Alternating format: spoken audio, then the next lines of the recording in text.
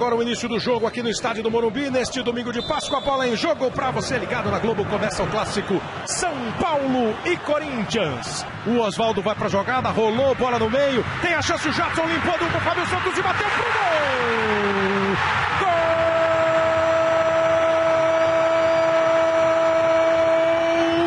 Gol! Jadson!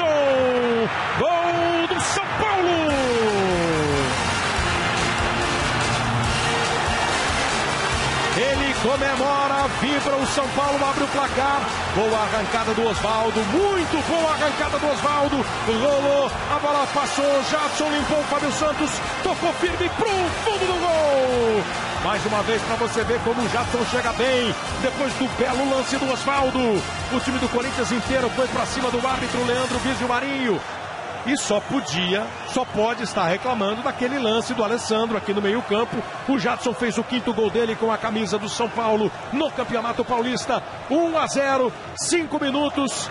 Terminou aquela maldição do clássico sem gol. Luiz Fabiano que recebe essa bola.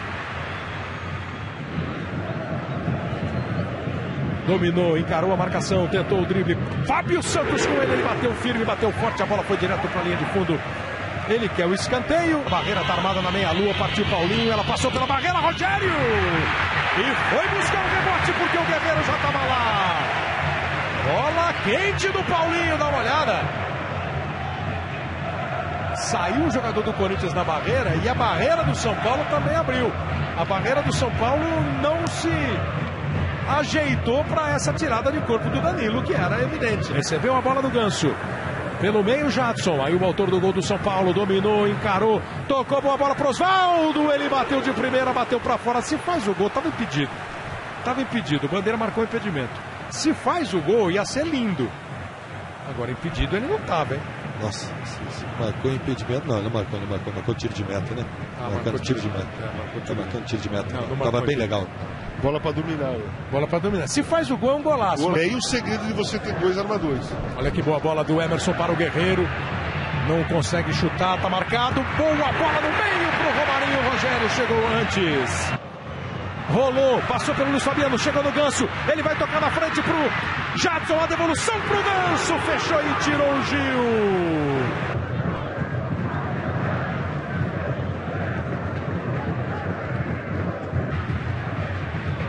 O Carleto abriu, o Luiz Fabiano se movimentou. Isso é jogada de centroavante bom, né? Que não pensa meia vez pra finalizar. Uma jogada que, ó, eh, o passe, o passe do Oswaldo vem pro, vem pro, pro Luiz Fabiano, é uma bola que qualquer um, ou de 10 jogadores, 9 ia tentar dominar para tentar bater. Ele pega batendo, pega o goleiro saindo no contrapé. Onde arrebenta o goleiro. Arrebenta o goleiro. Uma das qualidades do Carleto é o bom chute de pé esquerdo. Manda pra dentro da área, bola venenosa, Cássio! Vai caindo de um jeito ruim pro goleiro a bola, ó. Nenhuma chance de segurar. E ainda com o Luiz Fabiano perto. Mandou pra longe o Cássio. Boa bola pro Danilo, trouxe pro pé direito!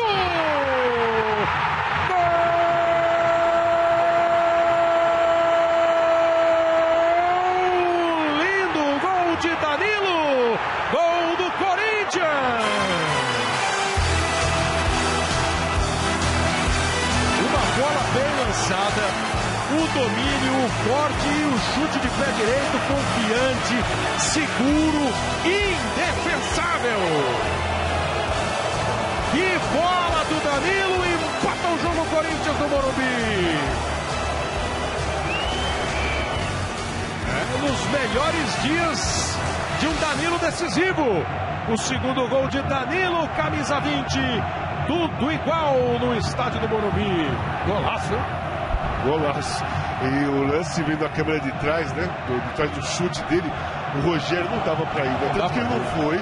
A bola, a bola vai saindo do goleiro, vai subindo e cai lá no ângulo, numa curva, não dá pra ir. Quando o jogador toma a frente e o contato é feito pelo adversário, ele não dá.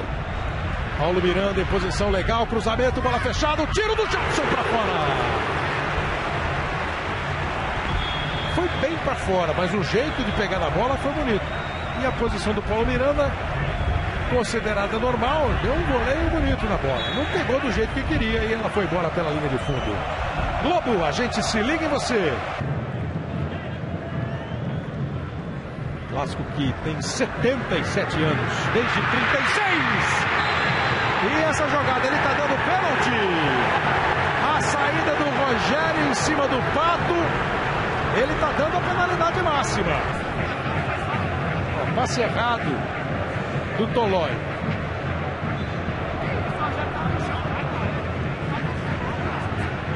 Quer dizer, passe errado, o passe curto. Quando o Rogério foi, o Pato toca na bola. E o Rogério acerta o Pato. Fala, Leonardo Garcia, fala. Não é, uma, não é uma jogada perigosa. Não é uma jogada perigosa. O Rogério também ia chutar. Ia chutar o ar, ia chutar o vento. O Pato, o Rogério acaba chutando o Pato, mas não houve falta. Eu, eu, sinceramente, não marcaria esse tipo de penalidade. Porque não há uma infração faltosa do jogador do Corinthians, simplesmente foi um pouco mais rápido. Acaba o Rogério chutando a parte da, da sola da chuteira do jogador. Sim, aqui há o choque, não há dúvida. O Rogério chuta a sola. Essa é a reclamação dos jogadores do, do, do Corinthians, do, do, São Paulo. É, é só lembrar que assim, esse chute já se dá depois do toque de bola. Para você, não há jogo perigoso do Pato, o Pato toma a bola normalmente. E como o Rogério já estava no embalo para chutar, não tinha como frear, é. você não daria nem É, é- é difícil Falta a questão. Rogério. E outra coisa também, se deu cartão, se deu cartão pro Rogério, tem que ser vermelho. Se marcou a penalidade, não tem outra opção. Aí é situação clara e manifesta de gol. Ou expulsa, né? Ou então não dá cartão nenhum. Pato na bola, autorizado, pé direito, bateu! Gol!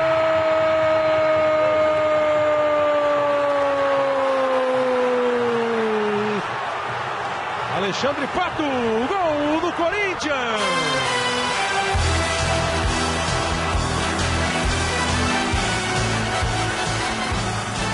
Bateu firme, bateu bem, o Rogério caiu pro lado esquerdo, já percebeu que o lado escolhido foi o errado. Bola pro fundo do gol. Alexandre Pato, camisa 7. É o terceiro gol do Pato no Campeonato Paulista. O Corinthians vira o jogo. Boa bola pro Ganso. Recebeu do Jadson. Tocou na direita pro Alisson. Cruzamento feito. Passou pelo Luiz Fabiano. Gil desviou, desviou mal. Osvaldo bate. e O próprio Gil foi lá. Depois de desviar mal, foi corrigir, se atirou no meio do caminho entre o chute do Oswaldo e o gol do Cássio. Pensou muito para tomar a decisão o Gilson e partir para cima.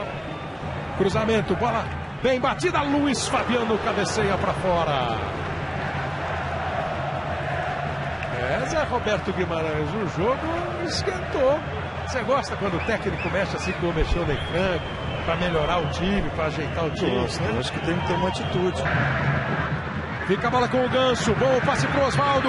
Entrou na área. Olhou quem chega, fez o cruzamento. O Alisson tocou de cabeça. Cássio! Não testou tão firme assim, tão forte o Alisson. Cássio cai e fica com a bola.